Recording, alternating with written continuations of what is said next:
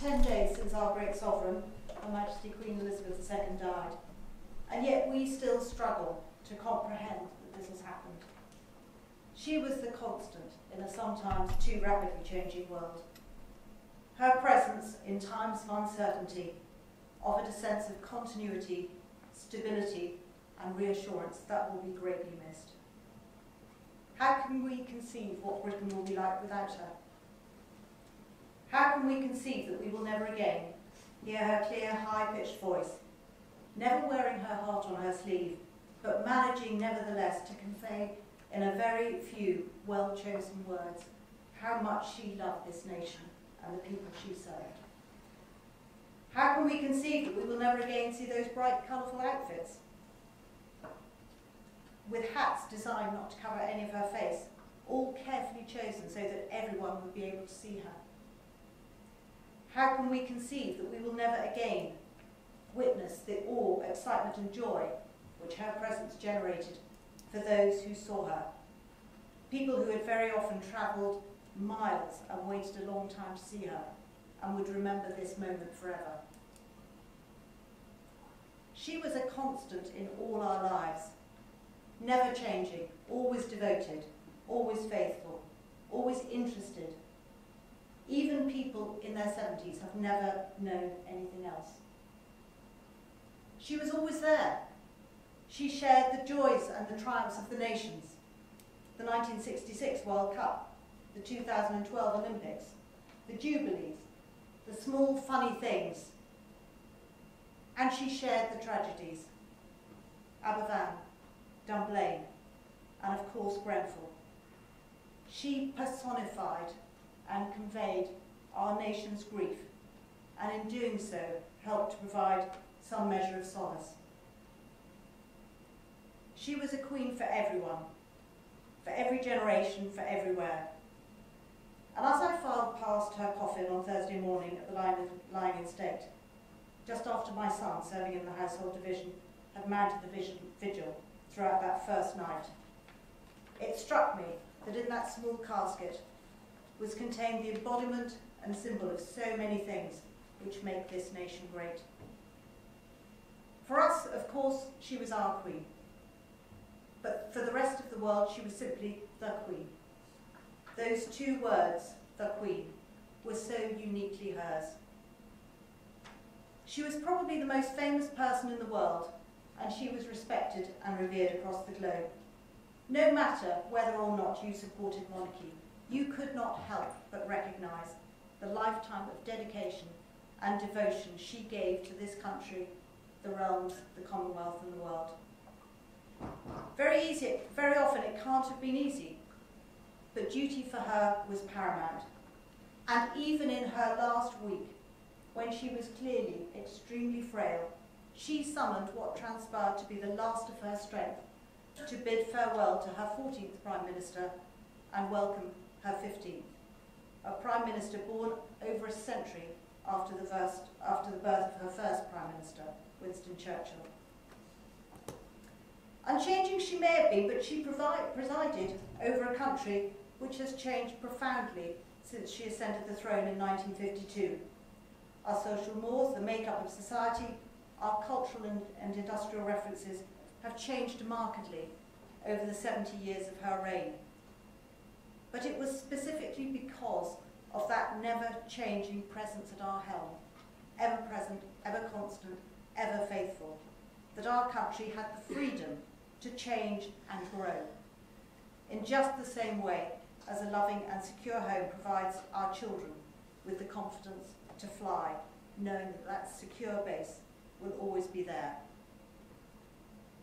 She valued discretion highly, as several prime ministers have commented their weekly audience with her was the only meeting they knew wouldn't leak. She was wise and she was brave.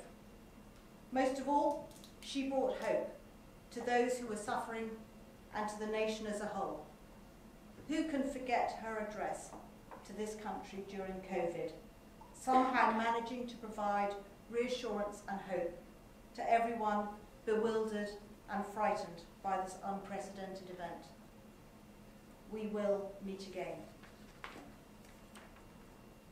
She had a profound faith which helped her to deal with her personal tragedies, losing her father far too young, losing her mother and sister in the same year, and of course, only last year, losing her husband, His Royal Highness, the Duke of Edinburgh, after 73 years of marriage.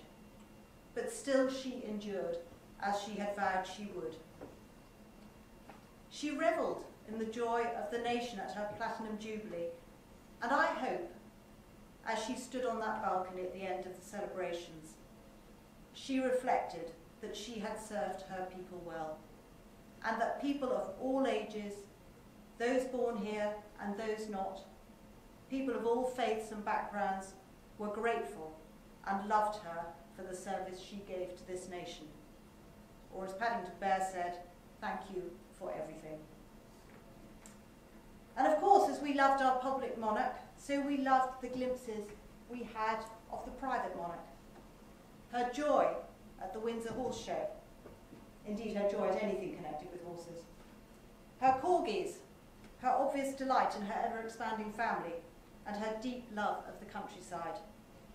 I particularly loved the photograph of Her Majesty and the Duke of Edinburgh taken by the Countess of Wessex, showing them relaxing in the heather at Balmoral, a place which she loved so deeply, and where it was perhaps fitting that her long and full life ended. Here in Westminster, of course, we are incredibly proud of our role as home to Buckingham Palace and so many of the great ceremonial events of the state. We relish that so many of our nation's most momentous occasions happen here, in our churches, on our streets, in our royal parks. And we are also grateful for all that Her Majesty did for our city.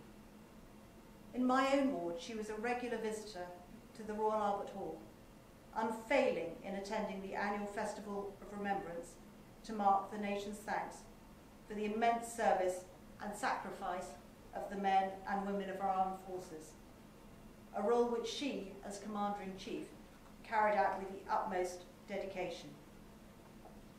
And as the last statesman alive to have served during the Second World War, she never wavered in her pride and dedication to her armed forces, in turn inspiring in them a fierce and unswerving loyalty. Elsewhere in Westminster, Councillor Rigby reminded me that she was patron of London Zoo, first visiting in 1938 and regularly thereafter to open ex exhibitions and hear about their international conservation work. She also made a total of 33 visits to Lord's Cricket Ground, very often accompanied by the Duke of Edinburgh.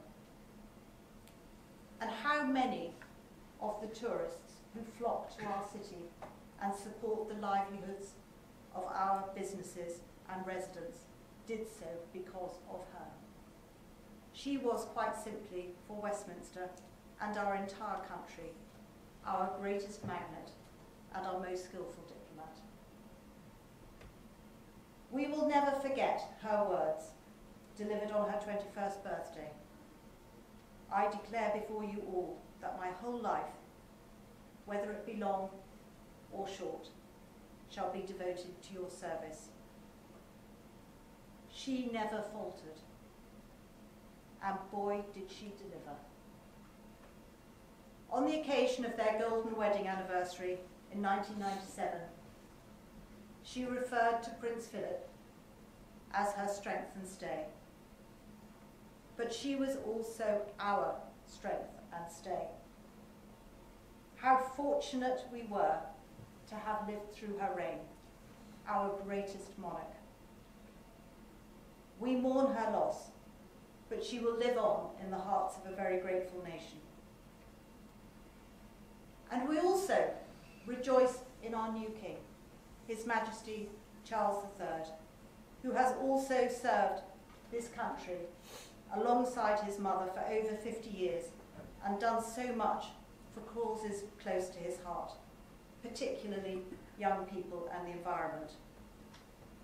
We look to him to carry on his mother's example of selfless devotion and service to this country, the realms and the Commonwealth.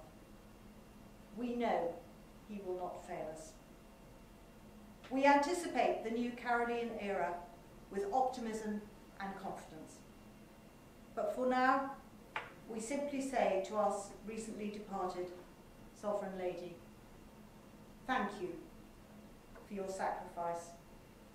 Thank you for your devotion. Thank you for always embodying the best qualities of service to others, constancy and selflessness.